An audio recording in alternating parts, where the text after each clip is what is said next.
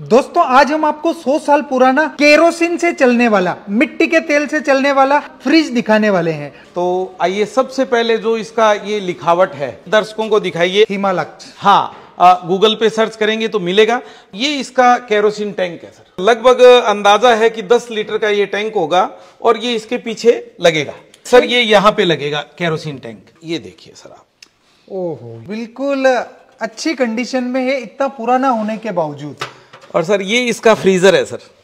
जो आजकल फ्रीजों में होता है वैसा ही फ्रीजर बना हुआ है सर। और इसी के साथ मैं आपको एक चीज़ और दिखा देता हूँ। ये मेरे को मैं खुश नसीब हूँ कि एक साथ ही दो पीस मिल गए। क्या और दोनों अलग अलग कंपनियों के हैं। तो आप देखिए इसका हमने काम भी स्टार्ट कर रखा है। इसका ये दरवाज़ा उतार के हमने यहाँ पे रखा हुआ है। ये भी फ्रीज है। तो आप ये ये ये भी दिखा दीजिए सर। दर्शकों को मेन चीज़ ये है। इलेक्ट्रोलक्स ये इसका सर छोटा सा फ्रीजर है। और फिर मैं आपको ये केरोसिन का टैंक दिखा देता हूँ कि किस तरह से इसमें इंस्टॉल होता है। ये देखेंगे सर आप नीचे व्हील लगे हुए हैं। क्या बिल्कुल। इजीली स्लाइड हो रहा है सर। और मैं इसको आपको पूरा बाहर निकाल के दिखा देता हूँ। सर इसमें केरोसिन फिलअप कहाँ से किया जाता था? सर ये देखिए ये यहाँ से किरोसिन फिलअप होएगा और यहाँ फिर कंपनी का नाम लिखा हुआ है। ये इसका मतलब ये इसका ओरिजिनल टैंक है। यहाँ ये गेज है सर। ये जैसे ही अपन केरोसिन डालेंगे ये गेज ऊपर आ जाएगा। अपने को ये बताएगा कि इसमें कितना केरोसिन है। लेवल कितना बढ़ गया हाँ और और और फ्रीज को अपने को जैसे इसकी कैपेसिटी कम ज़्यादा करनी हो तो ये आप देखेंगे सर। ये ये बत्ती सिस्टम।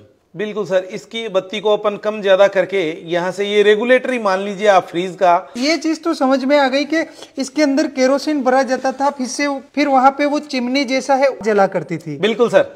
फिर उसके बाद की क्या टेक्नोलॉजी रही होगी उस टाइम सर की? उसके बाद की जो टेक्नोलॉजी रही होगी उसकी हम भी खोज में लगे हुए हैं कि इसको किस तरह से कैसे चालू किया जाए ऑपरेट किया जाए। दोस्तों इसके बारे में अगर आपको कोई टेक्निकल नॉलेज हो तो वो भी हमें कमेंट में ज़रूर बताइएगा कि केरोसिन भरने के बाद उसका होता क्या था क्या उससे कोई गैस पिंगल के इसके अंदर जाती थी जिससे ये ठंडा रहता था ये हमें ज़रूर बताइएगा। और सर बहुत बहुत धन्यवाद जो आज भी आपने इतनी सारी चीज़ों को बड़ी शिद्दत से संभाल कर रखा है।